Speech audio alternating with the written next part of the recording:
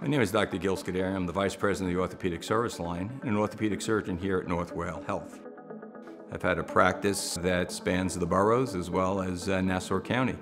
I grew up in Queens, I went to St. John's University, did my training at State University at Downstate Medical Center, did my residency program at Lenox Hill Hospital.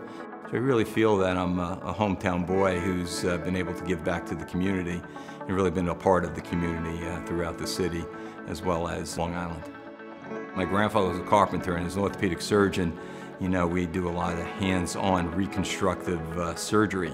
And that's why I think I really enjoy doing reconstructive surgery about the knee, especially total knee replacement and revision total knee replacement, where there's a lot of integral parts as you build somebody's new knee.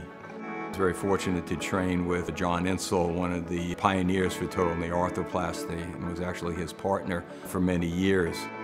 So I think what's important for me personally and what drives me is the future doctors that work with me. It's all about my team that's around me. With my residents, my fellows, my physician's assistants, we believe that we truly give the patient a very personalized approach here at Northwell. Having been in practice for over 30 years, what I love most about the work I do is my patients. And it's always a happy pleasure for me personally is when they come and smile and say, Dr. Scuderi, thank you.